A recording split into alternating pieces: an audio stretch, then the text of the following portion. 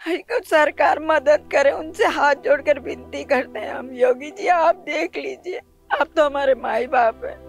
Please हमारी गुहार सुन लीजिए सुन लीजिए प्लीज़। आपको जिताते हैं कि हमारे लिए आप कुछ करोगे। जब हमारे बच्चे भूख से मर जाएँगे तो हम कहाँ जाएँगे ये बताओ। छोटी सी लड़की है हमारी वो दूध के लिए तरपती है दूध भी नहीं मिलता कुछ भी हमारे लोग को कोई साधन नहीं है। दीवारों में दरारें पड़ गई हैं और ज़मीन ऐसा हो रही है जैसे दलदल हो गया हो पैर भी नहीं रखा जाता। अभी मैं जिस जगह पे खड़ा हूँ, इस जगह का नाम अलीपुर है। यह गाजियाबाद ज़िले में आता है और भाजपा विधायक नंद किशोर गुजर के विधानसभा क्षेत्र में भी आता है। तेरह तारीख को यमुना ने यहाँ पर करीब 130 मीटर का कटान किया, जिसकी वजह से हुआ यह कि यमुना का पानी गौतम बुद्ध नगर ज़िले के 70 से ज़्यादा गाँवों में घुस गया। यहाँ तक कि ट्रोनिका सिटी के 100 से ज़्यादा फैक्ट्रियों में और रिहायशी इलाकों में भी यह पानी घुस गया, जिसकी वजह से जान माल का काफ़ी नुकसान हो गया। आज छठवां दिन है, इस बाँध को करीब करीब बाँध लिया गया है, यमुना का पानी भी घट रहा है। लेकिन यहाँ के गाँव के लोगों के जो जान माल का नुकसान हुआ, उसकी भरपाई नहीं हो पा रही है। लोग अभी भी सड़क पर रहने को मजबूर हैं और उनकी परेशानियाँ सुनने वाला कोई नहीं है। हमने ऐसे ही एक गाँव का दौरा किया। गाँव का नाम है बदरपुर। इस गाँव की कुल आबादी है तेरह हज़ार। जब पहले चढ़ा था पानी तो यहाँ था। यहाँ से निकलना भी दुशवार हो रहा था।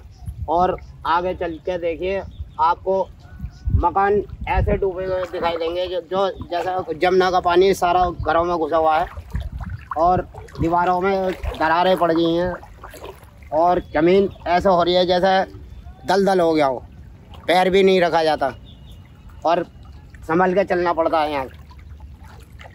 अभी हम लोग कुलसुम जी के घर के बाहर खड़े हैं। ये जो पीछे आप देख रहे हैं झोपड़ी ये कुलसुम जी का है और कुलसुम जी हमें अपने घर ले जा रही हैं। अभी देखिए इतना पानी है इतने पानी से होकर इनके घर जाना है हम लोगों को। तो कुलसुम जी आप ये बताइए कि आपने ये घर कब बनाया था और बाबू इस घर को बनाया ये मुझे हो गया सात आठ महीने होने आ रहे हैं। हाँ। और मैं इसी जुग्गी में किस्तों में मैंने ये प्लॉट ले रखा है बाबू। और अपने हाथों से यहाँ के सारे मोहल्ले वाले जानते मैंने अपने हाथों से मिट्टी गारे की ये झुग्गी बनाई है मैंने अपनी। ये ज़मीन आपने खुद ली जी किस्तों पे अभी भी चल रही है बेटा। अभी भी चल रही है बाबू। सब खत्म हो गया बेटा। खेतों में बीन बीन के लाई थी मैं बालियाँ। एक एक इसी ज़मीन पे इसी जगह पे मैंने कूट कूट के इकट्ठा करके रख रखे थे। कि मैं आगे अपने बच्चों को सब्ज़ी नहीं सही, चटनी रोटी तो खिला लूँगी। बेटा मेरा वो भी चला गया। बच्चा, मैं तेरे से आगे हाथ जोड़ती हूँ। तू मेरा बेटा बराबर है ये बात जो रिकॉर्ड कर रहे हो, बाबू। सरकार तक पहुँचाओ। हम सच में बहुत मजबूर है। हमें कोई सहारा देने वाला नहीं है, बेटा। हमारे बच्चे भी किराए पर रहते थे, मैंने उन तक को भी इसी जगह पे लाके पहुँचा दिया। मेरे बच्चे भी परेशान है, बेटा। क्या करें? मजबूर है, इसलिए कहीं कोई सहारा नहीं है। सरकार मदद करे, उनसे हाथ जोड़कर विनती करते हैं। हम योगी जी, आप देख लीजिए।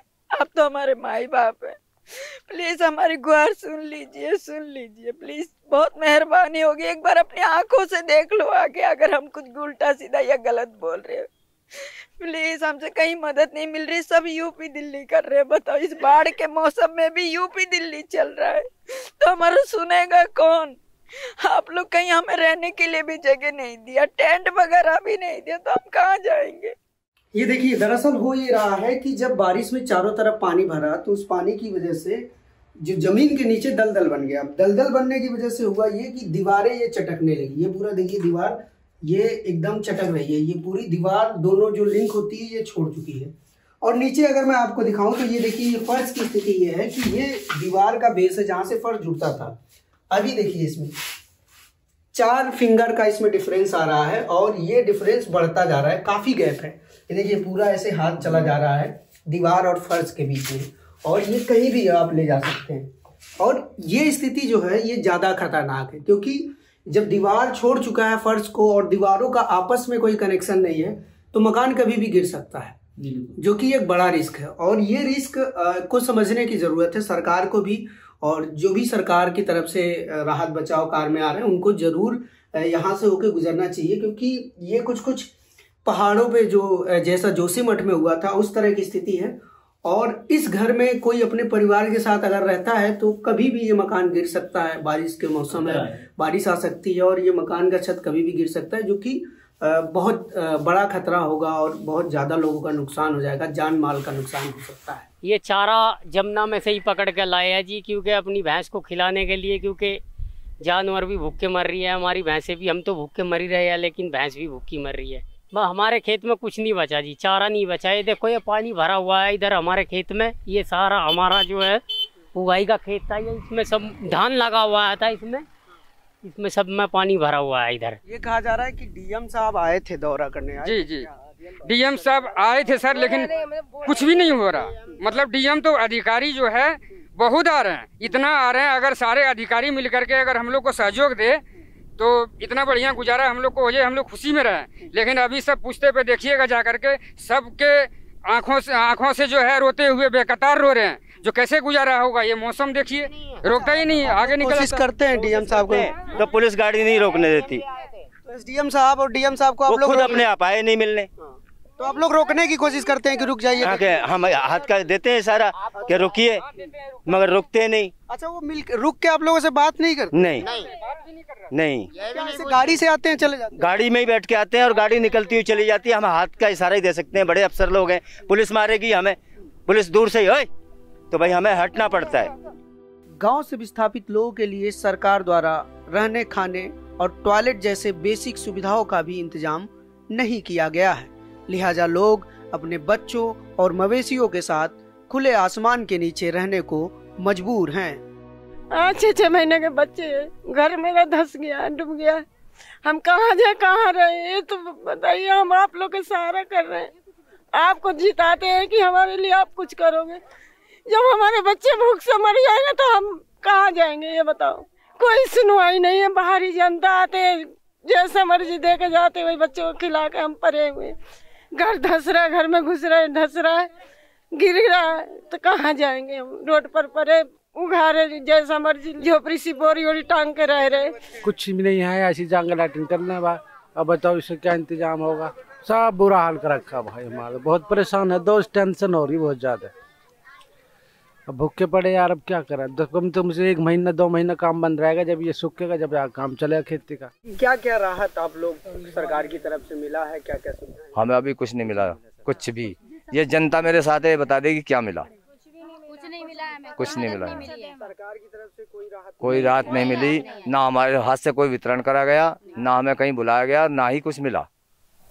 कुछ नहीं मिला। तो जो यहाँ के विधायक कौन है यहाँ के विधायक? नंद किशोर गुज्जर है। तो नंद किशोर गुजर जी आप लोगों के पास आए थे बात नहीं आए कोई बात नहीं। हमारे साथ तो दुआ सलाम भी नहीं हुई इनकी। कोई दुआ सलाम नहीं करी, उन्होंने पूछा भी नहीं, प्रधान जी, आपकी ये गाँव क्षेत्र डूब रहा, आपके क्या हालात है, आपकी जनता के क्या हालात हैं? हमारी उनकी कोई मुलाकात नहीं हुई। जो हमारा जो तहसील है, तहसील वालों ने यहाँ कोई टेंट वेंट की व्यवस्था भी नहीं करी है। और ना हमें बुलाया, भाई, हम प्रधान हैं, बुलाया जा, भाई, हम आपके माध्यम से यहाँ टेंट लगवा रहे हैं, या बता रहे हैं, या कोई सुझाव दे रहे हैं, हमारे साथ किसी की कोई मीटिंग भी नहीं हुई है। और गाँव में घर भी काफ़ी डैमेज हो गए हैं, कुछ घर गिर गए हैं। और जो हमारी फ़सल है किसानों की वो सब अक्षतिग्रस्त हो चुकी है नष्ट हो गई फ़सल। पशुपालन इनके बेचारे इनके खराब हो गए मर गए। हैं हम यही कहना चाह रहे हैं ये गरीब आदमी इनको हर संभव मदद दी जा घर से खाने से रहने से जिसका मकान गिर गया उसका मकान बनवाया जा जो बेचारा घर से बेघर हो गया है उसका राशन पानी की व्यवस्था करी जा। अभी मेरे पीछे ये जो आप गाँव देख रहे हैं यह पूरा गाँव बदरपुर है। वहीं यह पूरा गाँव यूपी में आता है गाजियाबाद में आता है। वहीं सड़क की दूसरी तरफ़ ये जो सूखा वाला इलाका है ये जो आप पीछे गाँव देख रहे हैं, यह बदरपुर खादर है, यह दिल्ली में आता है। दिल्ली की तरफ़ का एरिया आप देख रहे होंगे कि सूखा हुआ है, जबकि यूपी की तरफ़ का पानी से भरा हुआ है। तेरह तारीख को जब कटान हुआ पुस्ते का, उसके बाद हुआ यही कि दिल्ली तक के तरफ़ का पूरा पानी यूपी की तरफ़ आ गया, क्योंकि यूपी की तरफ़ ढलान ज़्यादा है। वहीं बाढ़ पीड़ित दिल्ली की तरफ़ से भी हैं। इस गाँव के भी बाढ़, लोग बाढ़ पीड़ित हैं जो गाँव, दिल्ली में आता है। लेकिन उनके लिए दिल्ली सरकार की तरफ़ से राहत शिविर लगाया गया है। यहाँ तक कि मेडिकल कैंप भी लगाया गया है। वहीं जो लोग यूपी के बाढ़ पीड़ित हैं, वो लोग अभी भी सरकारी सुविधाओं की और सरकारी राहत की राह देख रहे हैं और उनका दावा है कि उन तक, अभी तक कोई भी मदद नहीं पहुँची है। न्यूज़ लॉन्ड्री के लिए अनमोल प्रीतम, बदरपुर, यूपी। पत्रकारिता का नासूर बन चुके विज्ञापन के मॉडल को खारिज करके खबरों की इस दुनिया को बदलिए ताकि पत्रकारिता आपके लिए जवाबदेह बने। News laundry dot com slash subscription पर क्लिक कीजिए और अपने मन मुताबिक पेमेंट का विकल्प चुनिए, क्योंकि हमारे सब्सक्राइबर्स का नारा है। मेरे खर्च पर आज़ाद हैं खबरें।